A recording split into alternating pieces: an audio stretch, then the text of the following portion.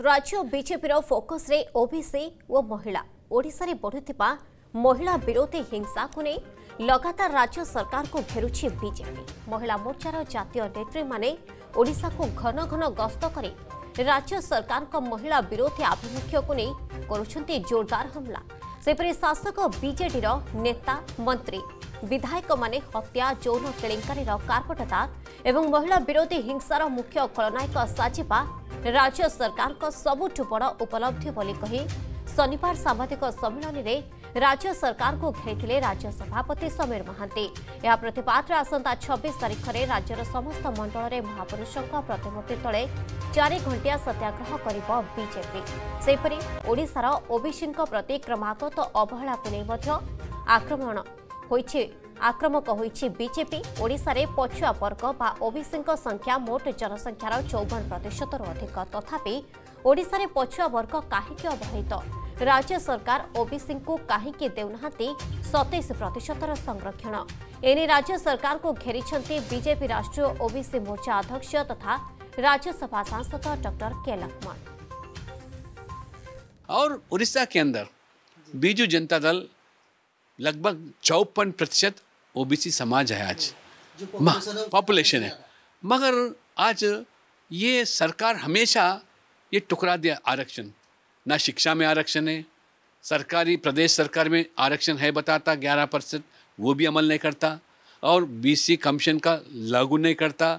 और सत्ताईस प्रतिशत केंद्र जो सरकार जो आज सिफारिश किया उसके उसके अंदर भी आज यहाँ प्रदेश के अंदर जितने भी ओबीसी समाज के वो सूची को वो केंद्र को नहीं भी जाता ताकि सेंट्रल लिस्ट में भी उसका जमा हो।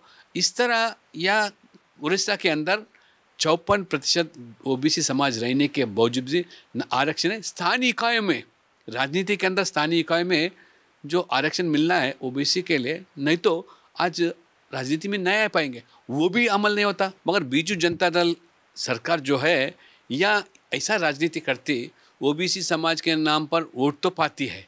मगर उनका जब हक आती है उनका जब प्रावधान जो है हर देश के अंदर हर प्रदेश में वो आबादी के अनुसार आरक्षण दिया जाता है। मगर थाजू पे आज उड़ीसा में शिक्षा भी, भी नहीं है। तो शिक्षा में अगर ओबीसी समाज को अगर आप आरक्षण नहीं दिए तो वो कैसा पढ़ सकते हो? कैसे आगे सकते हैं? क्योंकि वो आर्थिक रूप से, शैक्षणिक रूप से, सामाजिक रूप से पिछड़ा है और समाज में उनको जुड़ा नहीं जाता है। जब तक उनको पढ़ाई नहीं मिलती, तब तक उनको नौकरी नहीं मिलती। वो समाज में किस तरह वो जिएगा?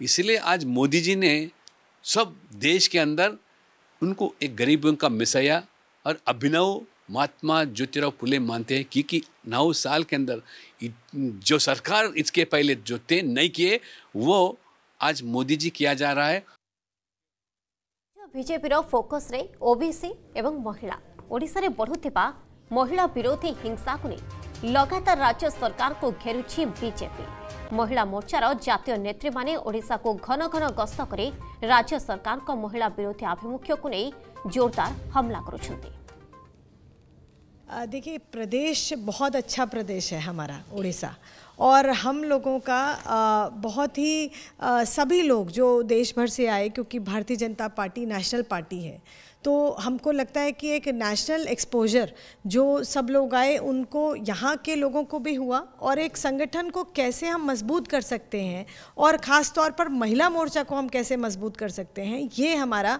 उद्देश्य रहा इस पर। और हम जब अलग अलग ज़िले में हमारा जाना हुआ और लगभग हम 33 ज़िलों में हमारा प्रवास हुआ क्योंकि 33 हम संगठन के हिसाब से हमारे 36 हैं तो हम 33 ज़िले में हम लोग गए 33 में। और वहाँ पर जिस तरीके के कार्यक्रम हुए तो जो कार्यकर्ता है उसमें भी बहुत ऊर्जा है। और साथ में जब हम गाँव में गए और जब हम महिलाओं से मिले, उनको हमने देखा और यहाँ के बारे में जाना तो बहुत सारी चीज़ें हमको मिली हैं जानने को, क्योंकि यहाँ पर हम कहें कि यहाँ स्टेट में दूसरी सरकार है, यहाँ भारतीय जनता पार्टी नहीं है यहाँ पर अगर हम देखें तो स्टेट में। तो उसके कारण से बहुत सारी ऐसी चीज़ें हैं जो केंद्र से हो रही हैं चल रही हैं, लेकिन यहाँ पर जनता को उसका लाभ नहीं मिल पा रहा है। इसको देखने को हमें मिला हर गाँव में जाकर, क्योंकि चाहे वो स्वास्थ्य, हम योजना हो हमारी आयुष्मान भारत, वो बहुत ही एक अच्छी योजना है और जो बीजेपी शासित प्रदेश हैं, उनमें ये योजना केवल बीपीएल के लिए नहीं, एपीएल के लिए भी है।